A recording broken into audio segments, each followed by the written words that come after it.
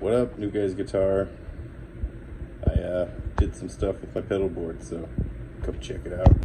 All right, we're back, and I have some better Velcro we're gonna use to Velcro all these down now. So we'll be doing that. Okay, so I have one side of this thing. I'm gonna kind of measure it up. I'm gonna do a line on this tape and a line of it on this tape. And then I'm gonna put the uh, the other side, which has the fuzzy, the hook side or the, the loop side on the pedals, which are all over there currently. All right, so we get them all all lined up, all on the board.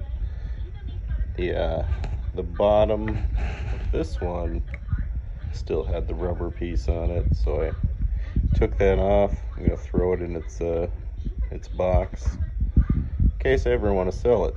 I'll put it back on for the other person.